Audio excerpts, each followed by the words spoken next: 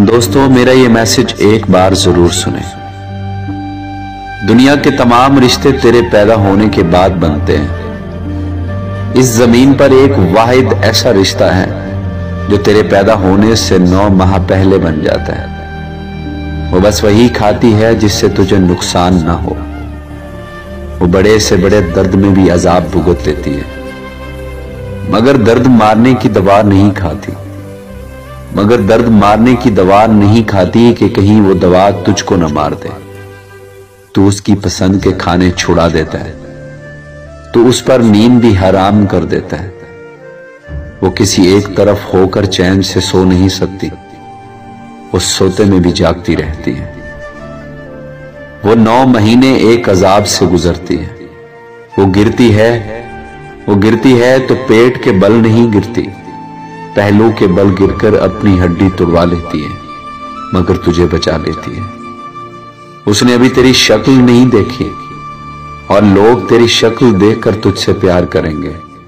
वो तुझे जनती है तो एक कयामत से गुजर जाती है।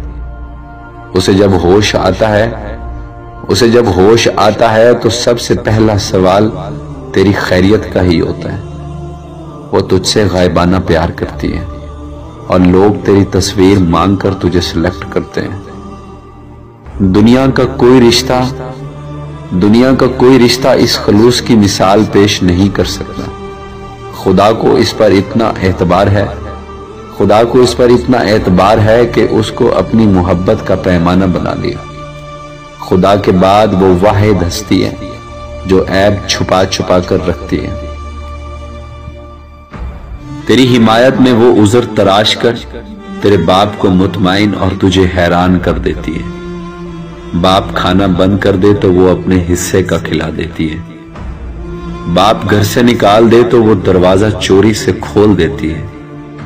खुदा के सिवा कोई तेरा इतना ख्याल नहीं रख सकता, जितना माँ रखती है। इसलिए खुदा ने भी तेरी जन्नत उठाकर तेरी माँ के कदमों में रख दी। अल्लाह पाक सबकी माओ को लंबी ज़िंदगी दे और जिनकी माए फौत हो गई हैं, अल्लाह पाक उन्हें जन्नतुल फिरदौस में आला मुकाम अता फरमाए। आमीन।